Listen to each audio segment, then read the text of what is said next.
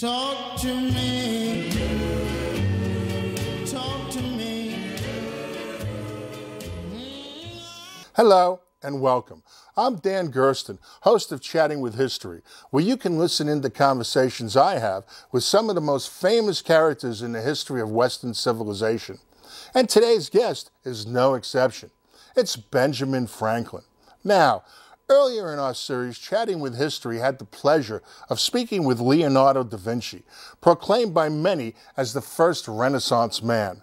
Well, in having Benjamin Franklin on today, we can now add having America's first Renaissance man to our Chatting with History guest list.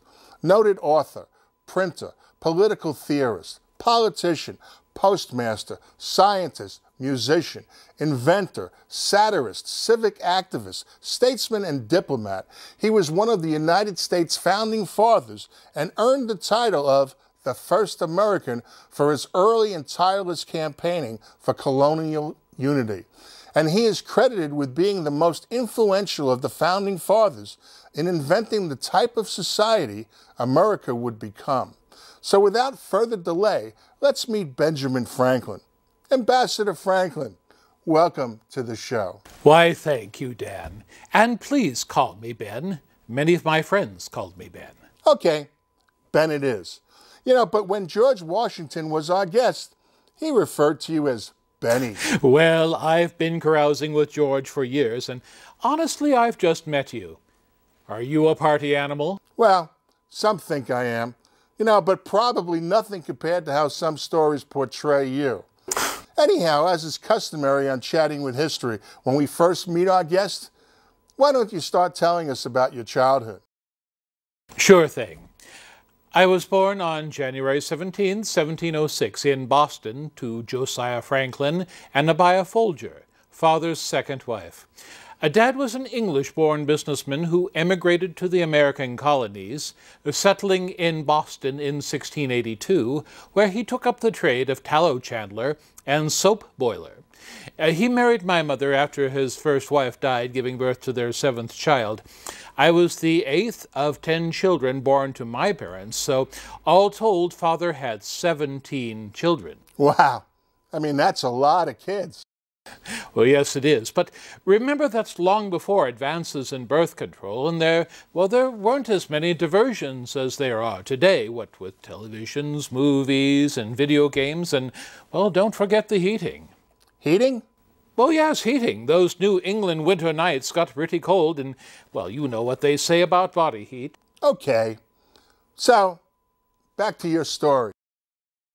Well, I was baptized at the Old South Meeting House in Boston, where my father served as a, a, tithing man, a prominent and highly respected member of the Third Church of Boston congregation of the United Church of Christ. And, I mean, if I'm not mistaken, that meeting house figured prominently during the years leading up to the Revolutionary War. Yes, it did. The congregation had a number of notable figures, including Samuel Adams, uh, William Dawes, active in the Boston militia, and the one who rode out to Lexington, Massachusetts to warn John Hancock and Samuel Adams that the British were coming. Now, others included Samuel Sewall, who represented Massachusetts in Congress from 1796 to 1800, and as Chief Justice of the Massachusetts Supreme Court, and Phillis Wheatley, the second published African American poet and first published African American woman in America. And then there was the Tea Party. Yes, the Tea Party, and not to be confused with some political movement of today that bears little, if any, resemblance to the events in Boston in 1773 when Samuel Adams gave signals from the Old South Meeting House for the war whoops that started the real Boston Tea Party. And Old South, as it's more commonly known, helped form the City Mission Society of Boston in 1816 to serve that city's urban poor, and during the Civil War, it became a recruiting center for the Union Army. Today, the congregation has formally adopted a platform of equality, social justice, and peace, exhibiting increased diversity by race, class, and sexual orientation. Loved it back then, love it still. And we're told that your father had you attend Boston Latin School, hoping that you'd eventually become a member of the clergy. Yes, well, that's what he had hoped, but being a candle and soap maker, and with many mouths to feed, father only had enough money to send me to that school for only two years, though far more years of schooling were necessary to become a clergyman. So when my formal school ended when I was 10, it, it put any thoughts of my becoming a clergyman to rest. I understand that for a time you worked with your father. Yes, I, I, did that until I was 12, and oh boy, was that boring. I dipped the wax, cut the wicks, dipped the wax, cut the wicks. Uh, father, perhaps fearing I'd run off to sea, apprenticed me to my older brother James, who was a printer, and let me tell you what a difference that was from dipping wax and cutting wicks. So, what did you do for your brother James? Well, I helped, helped him uh, compose pamphlets and set type, and I'd sell his products on the street. When I was uh, 15, James founded the New England Courant, which was the first truly independent newspaper founded in the colonies. And unlike the other two papers in Boston, it carried articles, opinion written by James' friends, advertisements, and news of ship schedules, and, and not just reprinted news from abroad. And did you also get to write for the new newspaper? Well, kind of. Uh, I wanted to write for the paper, but James didn't go for it. Uh, so I pretended to be a middle-aged widow named Silence Dogood, writing 14 letters that the paper published. Letters which gained some relatively recent popularity thanks to the first National Treasure movie starring Nicolas Cage. Well, anyway, uh, the letters were filled with advice and, and, and very critical of the world around her uh, particularly concerning the issue of how women were treated. So, even as a lad of 16, you were pro women's rights.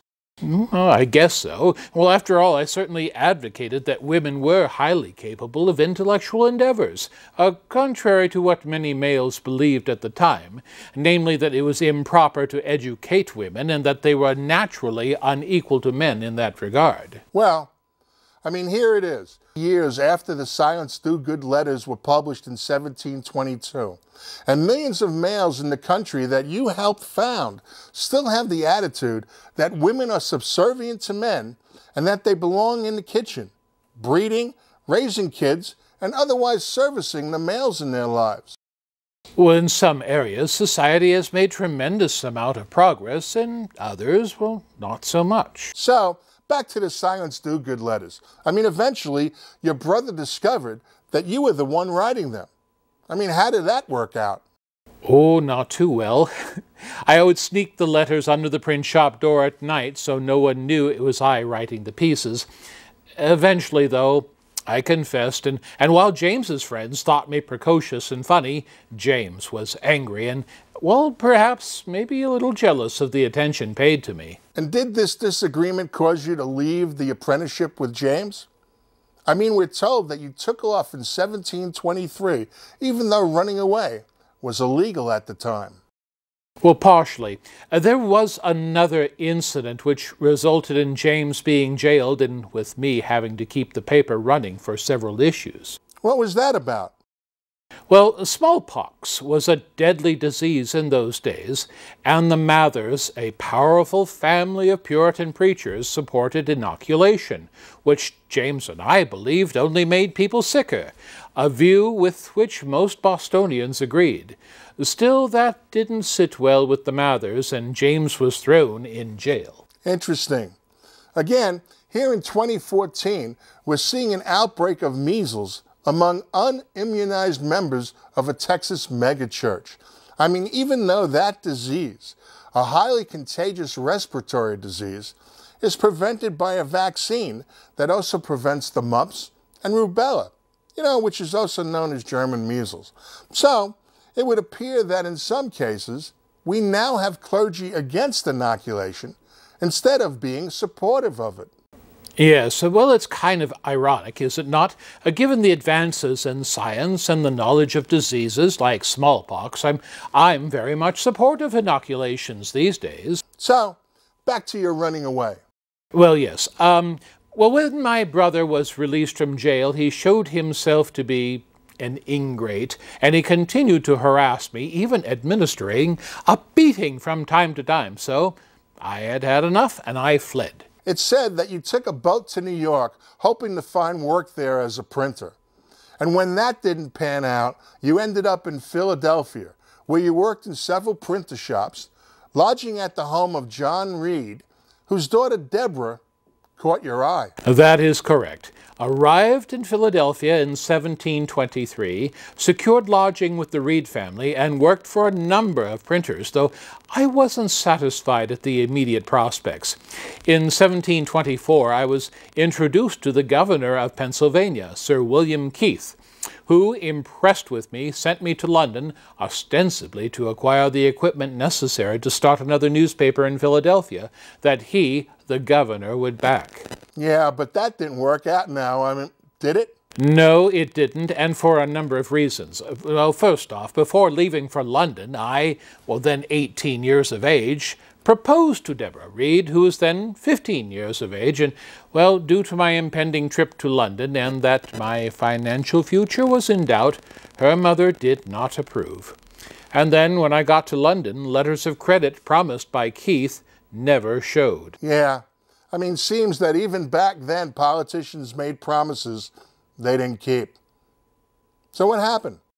Well, I was stuck in London with no credit and no money. Well, finally, I found work as a typesetter in a printer's shop and was able to take full advantage of the city's pleasures, um, attending theater, uh, uh, mingling with the populace in coffee houses, and, and continuing my passion for reading. And while there, you also managed to publish your first pamphlet, a dissertation upon liberty and necessity, pleasure and pain, in 1725.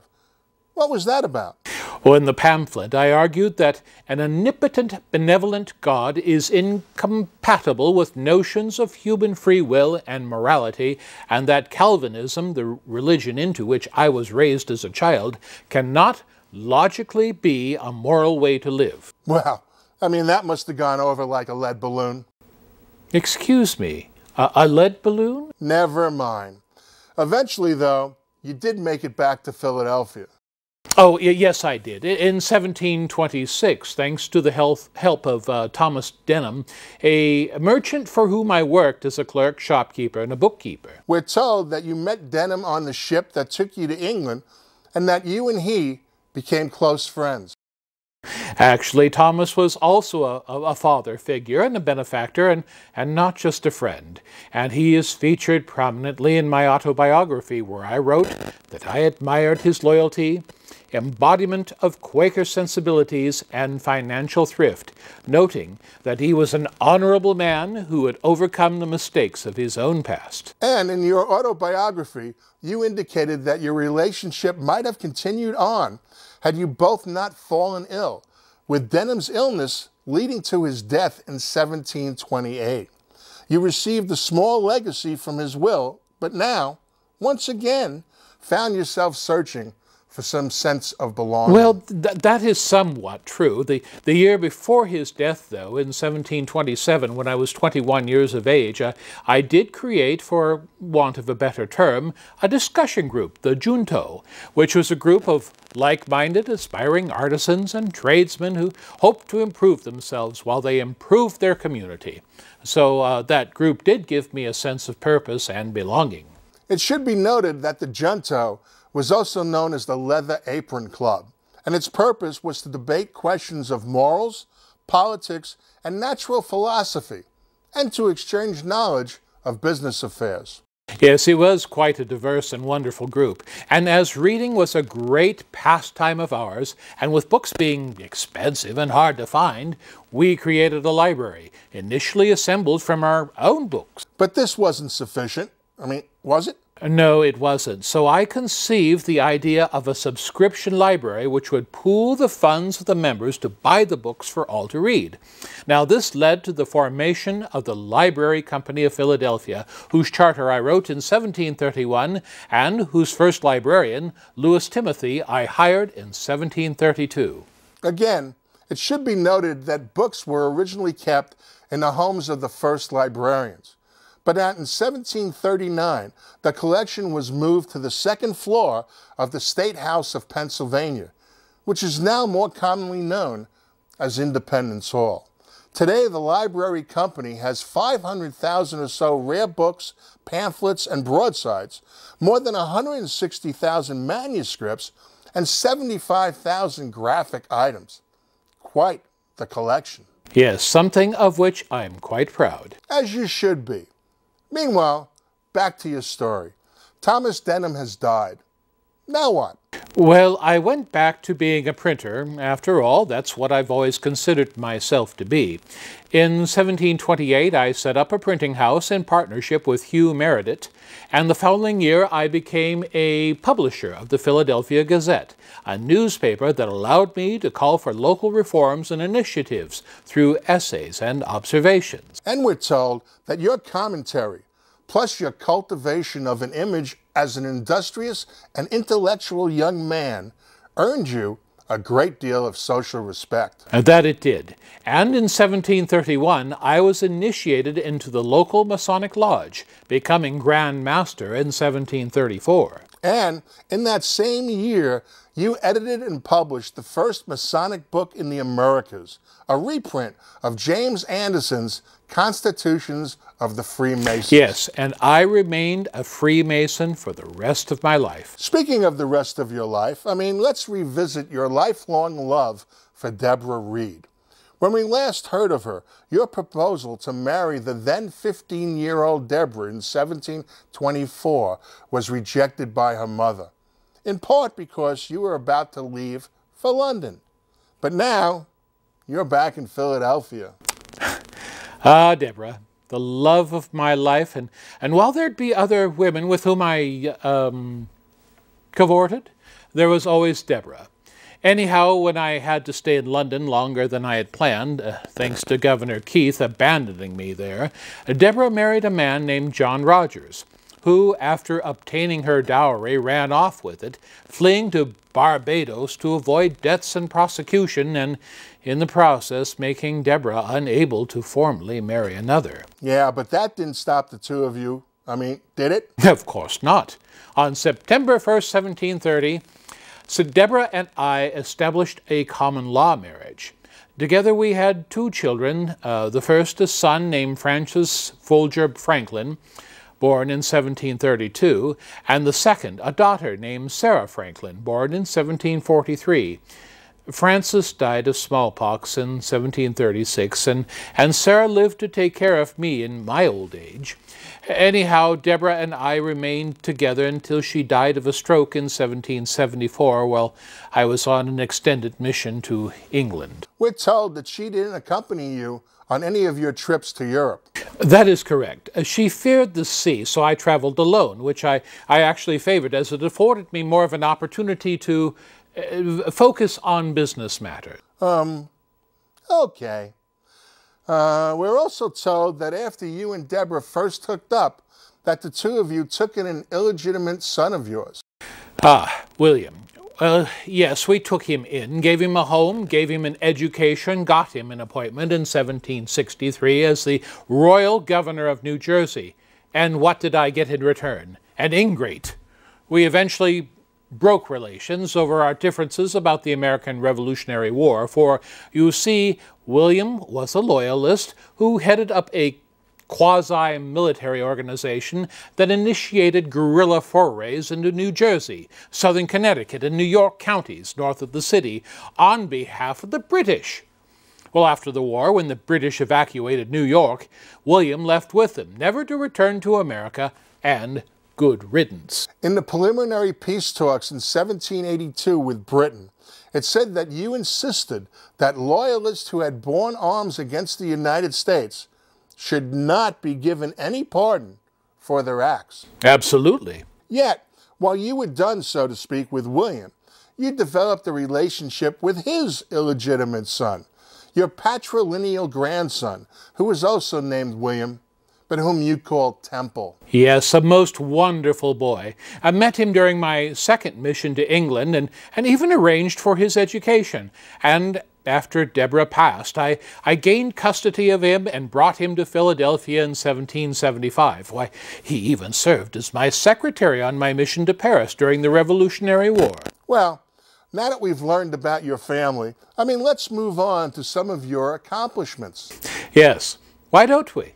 In 1733, you began to publish Poor Richard's Almanac, containing both original and borrowed content. That is true. I published it under the pseudonym Richard Saunders, and although it seemed to be no secret that I was the author, my Richard Saunders character always denied it. Anyhow, Poor Richard's Almanac was a yearly almanac that appeared continually from 1732 to 1758 and was a bestseller for a pamphlet published in the American colonies with print runs reaching 10,000 a year. Yes, the almanacs were quite popular, containing the calendar, weather, poems, sayings, and astronomical and astrological information.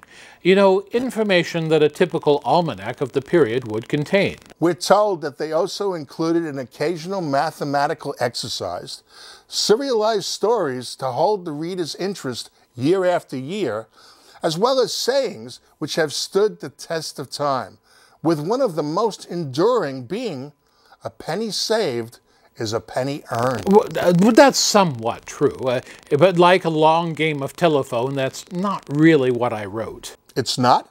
Uh, no, it's not. I wrote, a penny saved is a two pence dear, but I guess people didn't like me calling them dear. But I'm bum.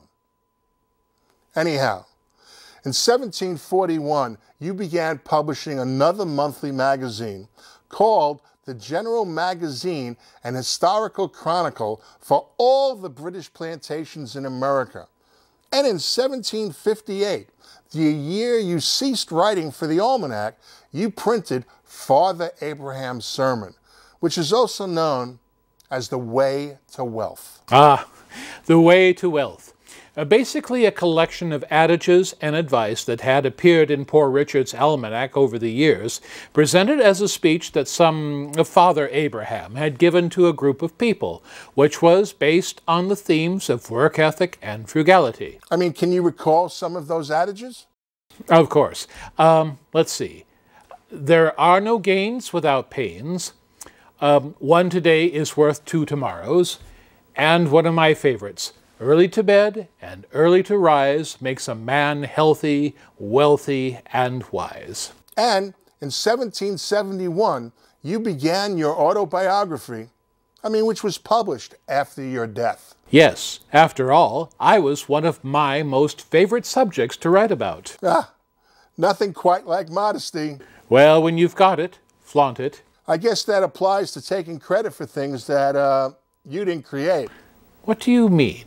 Well, let's take daylight saving time, which is often attributed to a 1784 satire that you anonymously published, though modern daylight saving time was first proposed by a George Vernon Hudson in 1895.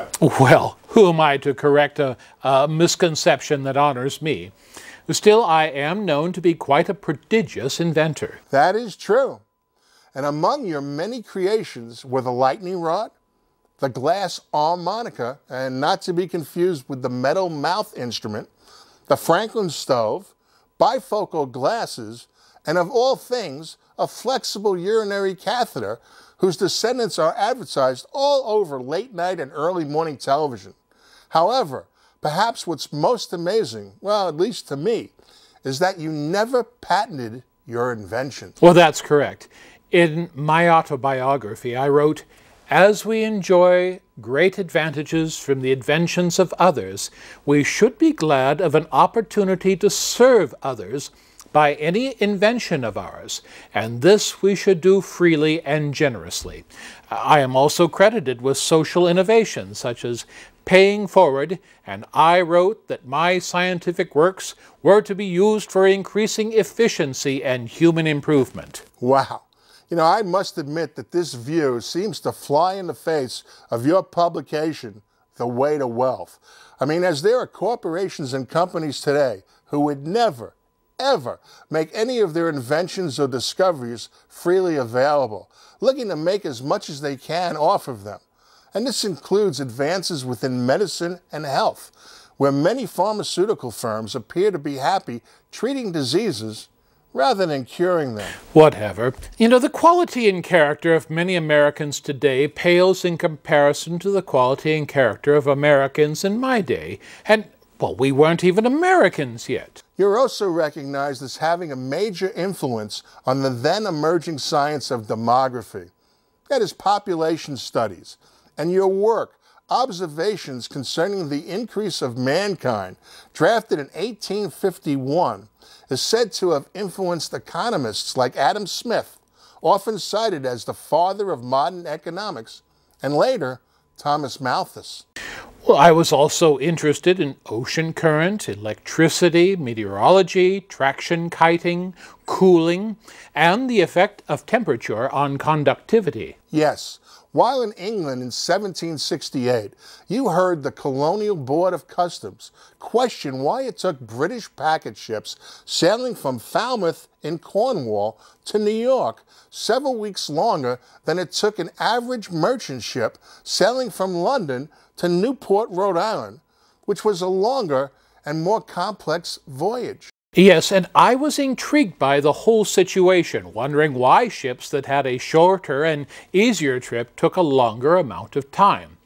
So I met with a cousin who was a whaler captain out of Nantucket, as well as other experienced ship captains, and learned enough about a strong eastbound mid-ocean current to chart it, naming it the Gulf Stream. I published my Gulf Stream chart in 1770 in England, and they completely ignored it. Well, anyhow, it took many years for British sea captains to adopt my advice on navigating the current, and once they did, they were able to trim two weeks from their sailing time. the arrogance of the British in accepting the wind wisdom of someone from the colonies. And there were other currents, well, so to speak, that intrigued you. Well, uh, what was that?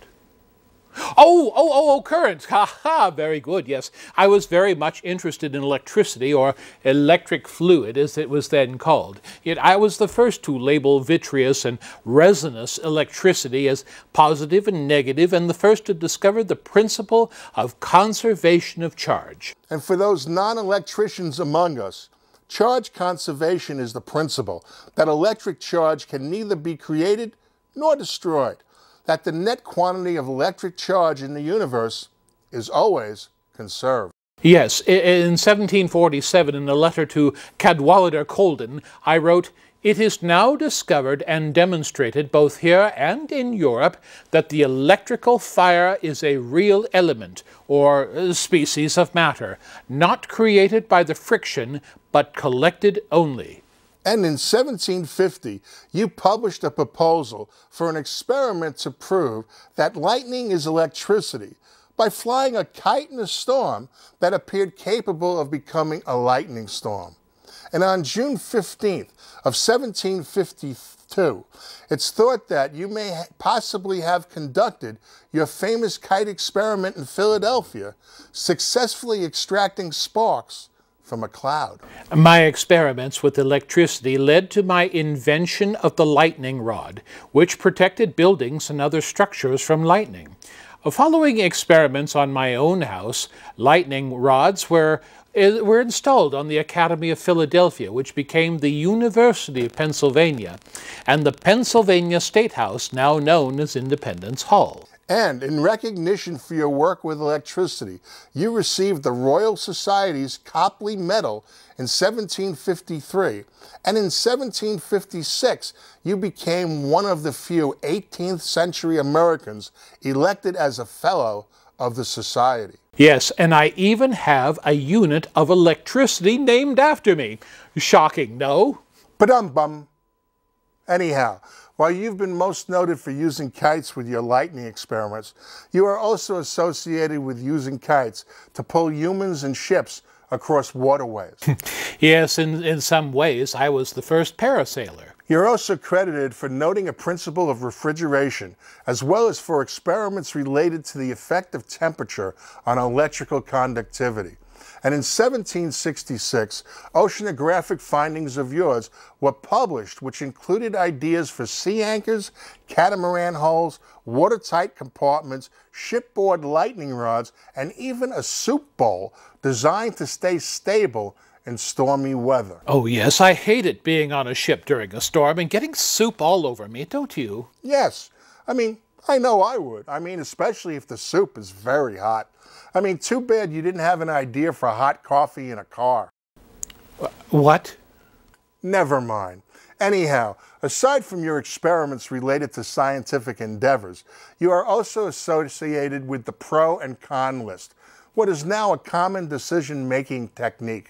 Yes, when I had to make an important decision on a measure, I, I divided half a sheet of paper by a line into two columns, writing over the one pro and over the other con.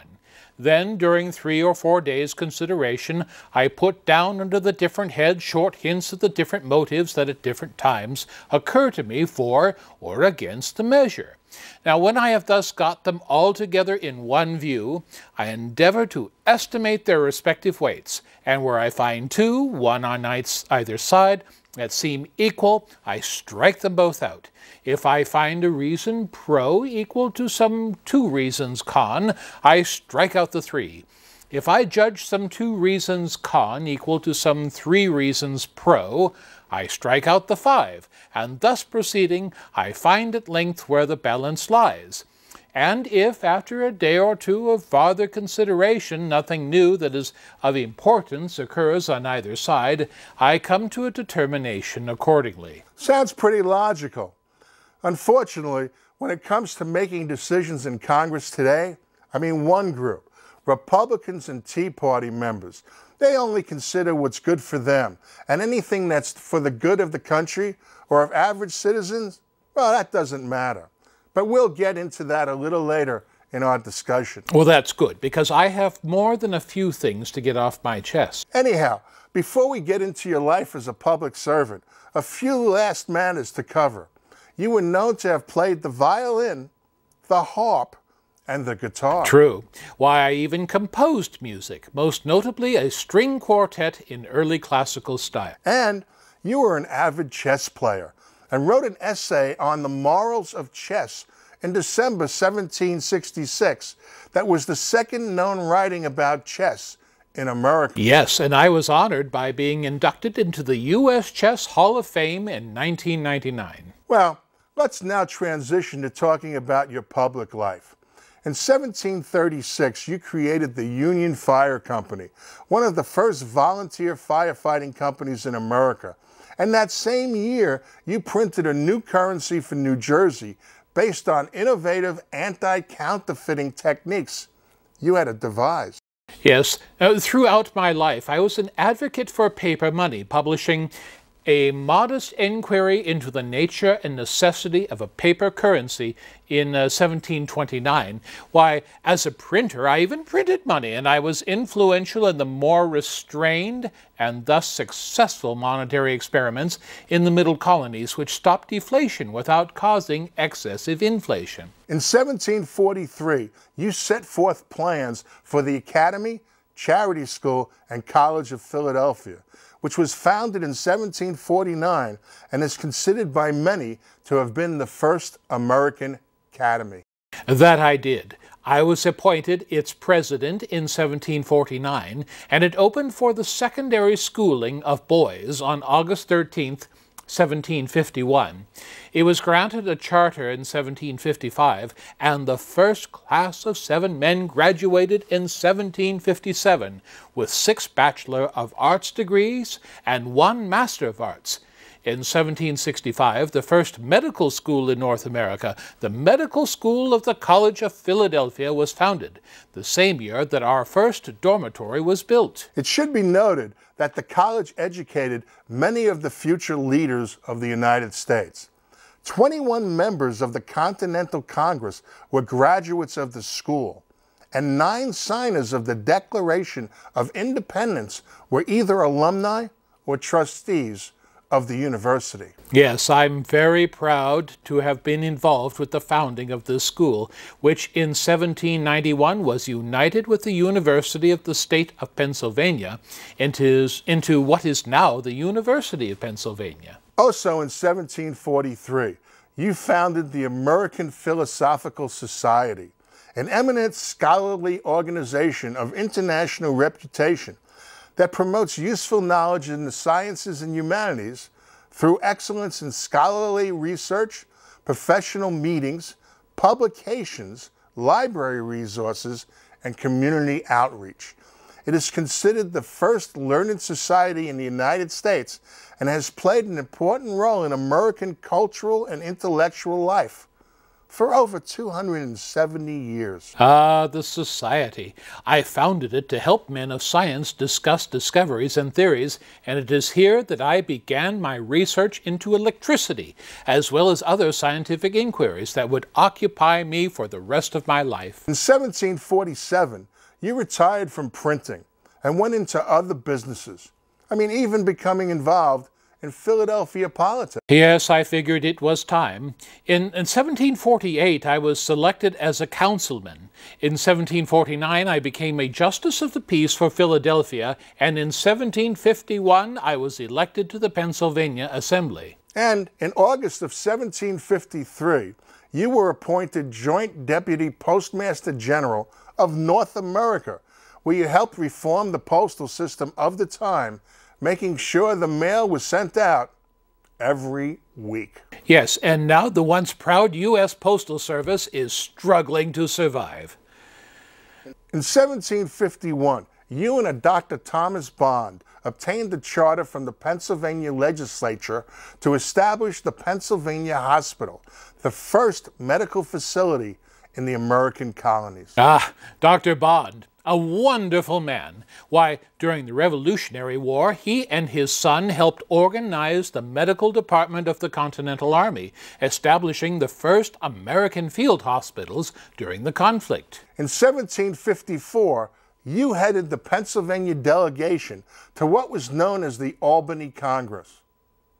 What was the Albany Congress? It was a meeting of representatives sent by the legislatures of seven colonies Connecticut, Maryland, Massachusetts, New Hampshire, New York, Pennsylvania, and Rhode Island to discuss better relations with the Indian tribes and common defensive measures against the French threat from Canada in the opening stage of what was to be the French and Indian War. It marked the first time that colonists had met together, and it provided a model for later Congresses in prelude to the American Revolution. And, I mean, what was the outcome of the Albany Congress? Well, we came up with a plan which called for a single executive to be appointed by the King of England who would be responsible for India Indian relations, military preparedness, and execution of laws regulating various trades and, and financial activities. It also called for a Grand Council to be selected by the colonial legislatures, with the number of delegates to be apportioned according to the taxes paid by each colony. Needless to say, while we delegates passed the plan unanimously, the legislatures of all seven colonies rejected it, as did the British Board of Trade. Still, some of the features of the plan were incorporated into the Articles of Confederation and the Constitution when it was time to form the new U.S. government. Of note, in 1789, you reflected that if the plan coming out of the Albany Congress had been accepted, that it was likely that the revolution might never have occurred when it did. That is true. I said that the colonies, if so united, would have really been sufficient to their own defense, and that it would have been unnecessary for there to, to be a British army in the colonies. And in this regard, it would have been unnecessary for there to be acts like the Stamp Act to fund that army, acts which were a primary reason for the Revolution. But as we now know, that was not to be. In 1756, you organized the Pennsylvania militia to go into battle against Native American uprisings and reportedly was made a colonel, which you declined. Well, I'm a lover, not a fighter. Also in 1756, you became a member of the Society for the Encouragements of Arts, Manufactures, and Commerce in England, now known as the Royal Society of. And in 1757, I was sent to England by the Pennsylvania Assembly as a colonial agent to protest against the political influence of the Penn family, the proprietors of the colony who used their prerogative to overturn legislation from the elected assembly and who exempted themselves from paying taxes on their land. Interesting. I mean, here it is 2014, and there are wealthy Americans acting like they own the country seeking to overturn laws and programs that they don't like, and looking to get away with paying little, if any, taxes. Yes, sometimes the more things change, the more they stay the same. Was that a Poor Richard's proverb? No, I cannot take credit for that, although I wouldn't mind people thinking it's mine. It's a French origin used by the French novelist Alphonse Karr. Anyhow, your efforts to oppose the Penn family were unsuccessful and you returned to Pennsylvania, where you led the anti proprietary party against the Penns. Yes, but again, my efforts were unsuccessful, though I was elected Speaker of the Pennsylvania House in May of 1764. It seems I miscalculated the fear of average Pennsylvanians that going against the Penns would endanger their political and religious freedoms.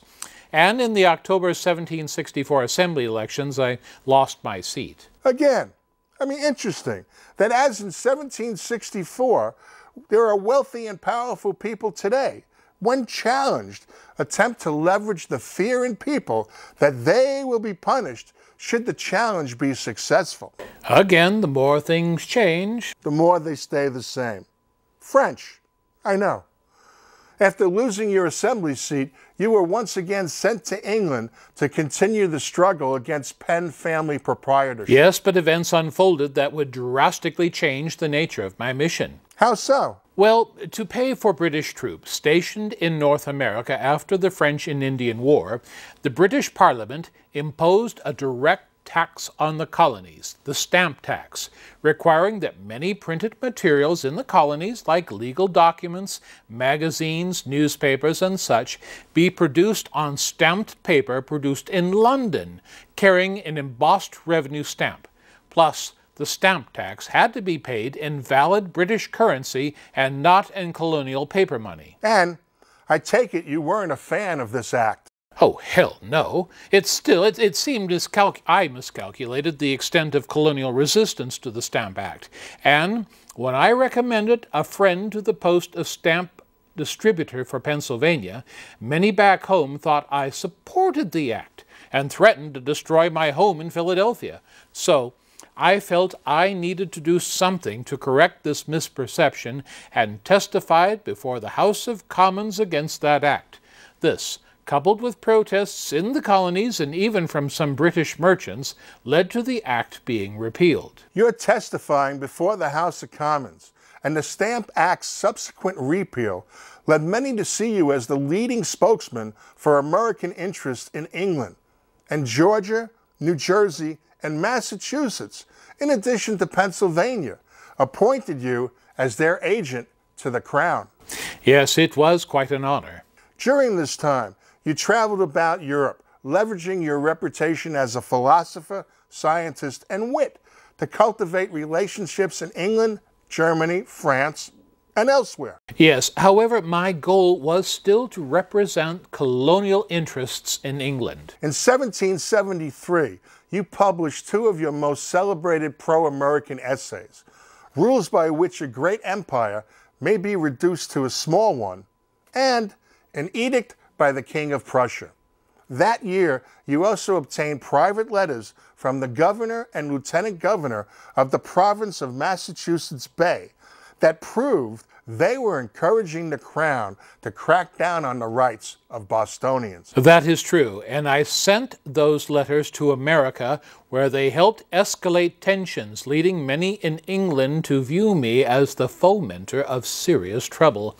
Eventually, I left England to return to Philadelphia in March 1775 and gave up any hope I may have had with regard to an accommodationist stance. Well, I mean, I'd surely like to think so. I mean, because by the time you arrived in Philadelphia in May 1775, the American Revolution had begun, with fighting at Lexington and Concord, and with the main British Army being trapped in Boston by the New England militia. Yes, the war that was to change history had begun. The Pennsylvania Assembly unanimously chose me as their delegate to the Second Continental Congress, and in June of 1775, I was appointed a member of the Committee of Five that drafted the Declaration of Independence. Yes, I mean the Committee of Five consisted of John Adams of Massachusetts, Roger Sherman of Connecticut, Robert Livingston of New York, Thomas Jefferson of Virginia, and yourself from Pennsylvania. The Committee of Five operated from June 11, 1776 until July 5th, 1776, the day on which the Declaration was published. I must admit that I was temporarily disabled by gout and unable to attend most meetings of the committee. Still, I, like Adams, Sherman, and Livingston, made important changes to the first draft that Jefferson wrote, and which we incorporated into the final draft that was presented to the Committee of the Whole, which approved the Declaration after making additional changes including deleting a passage that was critical of the slave trade. So, what you're saying is that the Declaration of Independence, drafted by Jefferson and approved by the Committee of Five, contained a passage that was critical of the slave trade. Yes, but it was critical of British involvement in the slave trade and not necessarily of slavery. Regardless, ever since the Declaration of Independence was first published, there has been controversy over how can a nation proclaiming that all men are created equal also be a nation where slavery is an accepted institution. Yes. I mean, years after it was initially published, the men in the phrase, all men are created equal, has been interpreted by those favoring slavery and by those viewing Caucasians as superior to others as referring to white men and white men only. Why, even today, in 2014, and more than 150 years after the Civil War and the Emancipation Proclamation, far too many Americans embrace white supremacy and racism. The more things change. There you go. Anyhow, the Declaration of Independence was signed on July 4th, 1776, at which time you supposedly replied to a comment made by John Hancock about the importance of unity. Do you recall what it was? Of course. I said, yes, we must indeed all hang together, or most assuredly we shall all hang separately. After the Declaration of Independence was published, you were dispatched to France as Commissioner for the United States in December 1776.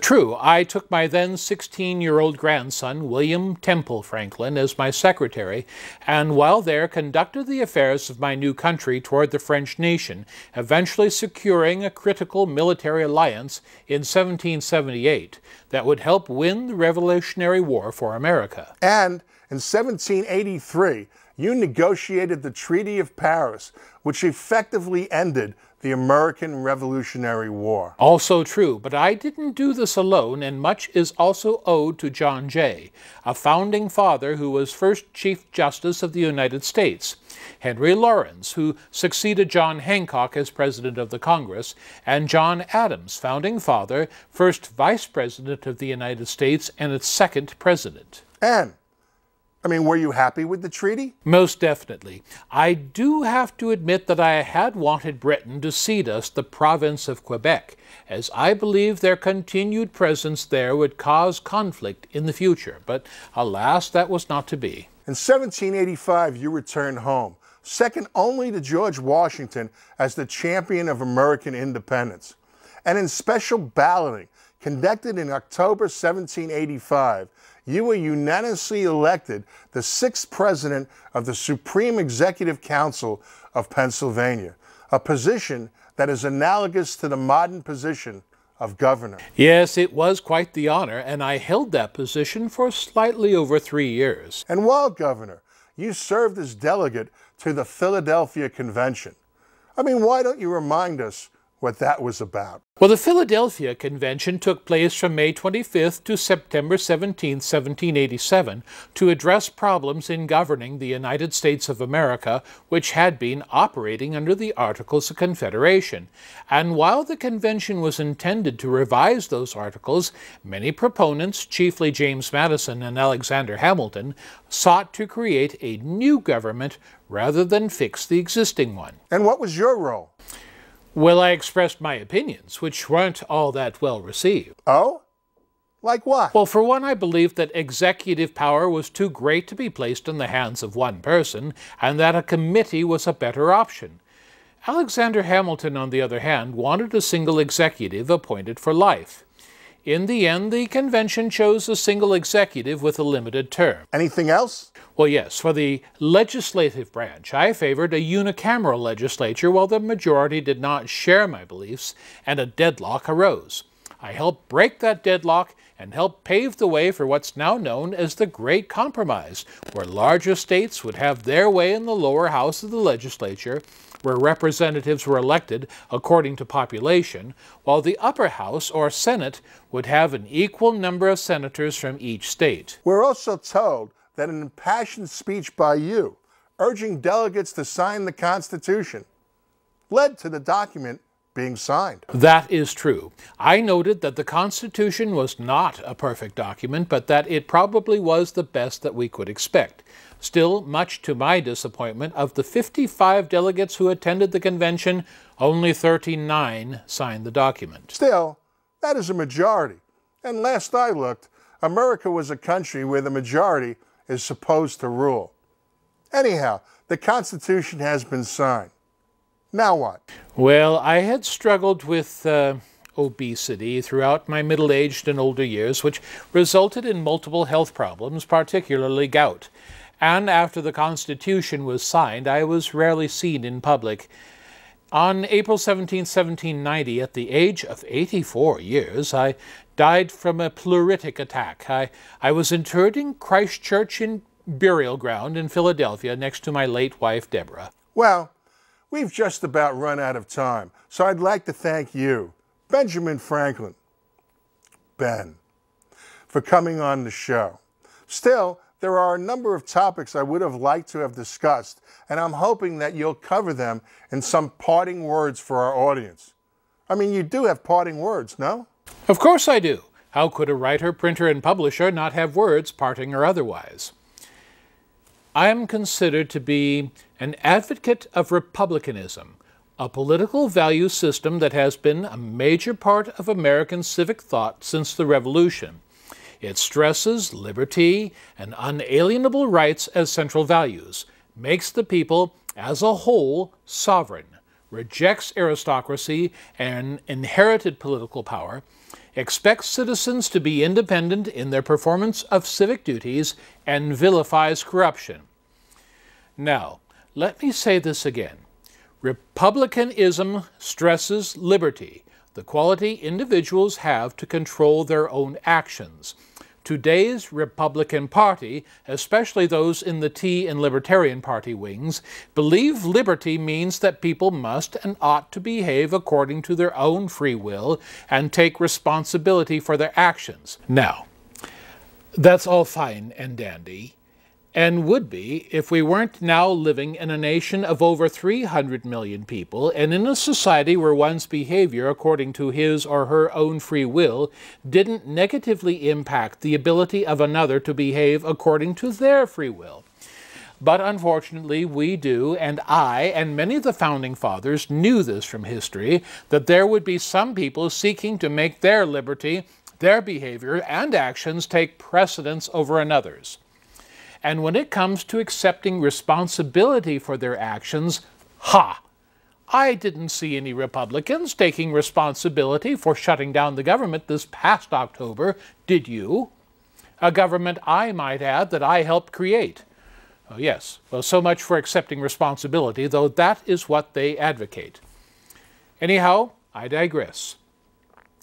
The liberty which I and other founding fathers had related to life under a social contract, namely that individuals have consented, either explicitly or tacitly, to surrender some of their freedoms and submit to the authority of a ruler or magistrate, or to the decision of the majority in exchange for protection of their remaining rights. Antecedents of social contract theory are found in antiquity, in Greek and Stoic philosophy, in Roman and canon law, as well as in the Old Testament with the biblical idea of the covenant.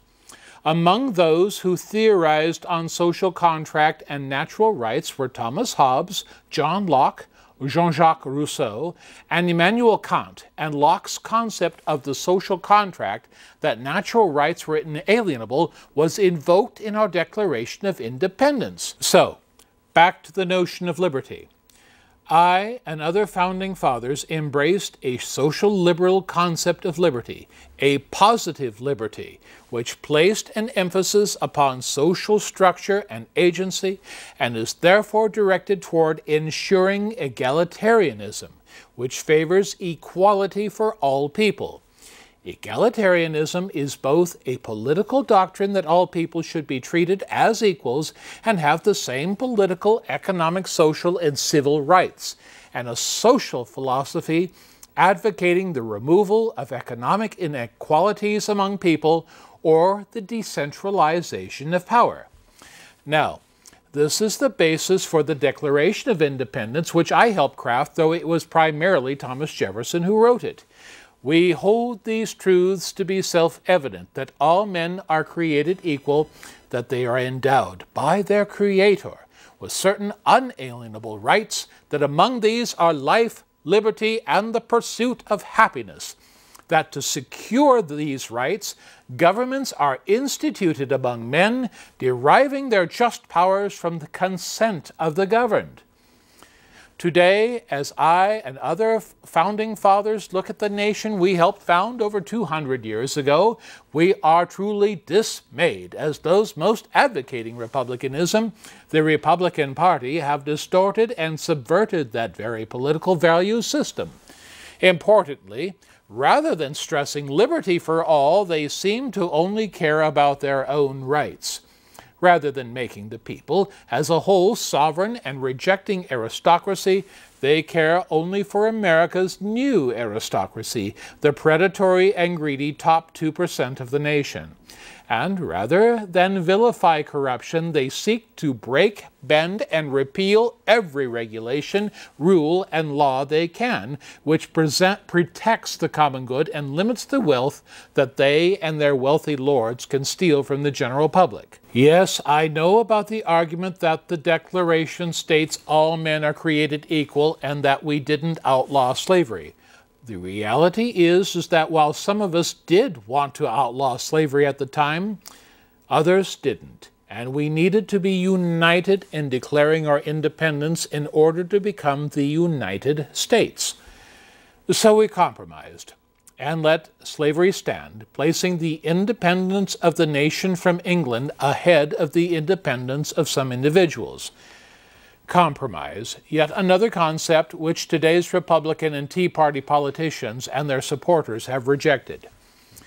Yes, I and the other founding fathers are truly dismayed at the antics of those in the Republican Party who, by their acts and words, discredit the concept of republicanism. And sometimes I get so angry that I'd love to attach a lightning rod to the lot of them during a lightning storm. Just saying. Words of wisdom from Benjamin Franklin, America's first Renaissance man, and credited with being the most influential of the founding fathers in inventing the type of society America would become. A marriage of the practical values of thrift, hard work, education, community spirit, self governing institutions, and opposition to authoritarianism, both political and religious, with the scientific and tolerant values of the Enlightenment. Now, I don't know about you, but I'm with Ben and share his dismay and anger at those in this country who hide behind the liberties that he and other founding fathers provided us, while seeking to deprive and subvert those very same liberties for others. So until our next Chatting with History, This is Dan Gersten, reminding all of you. I mean, don't fly a kite in a lightning storm. Well, unless you're a Republican or Tea Party. Thank you for watching. Talk to me. Talk to me.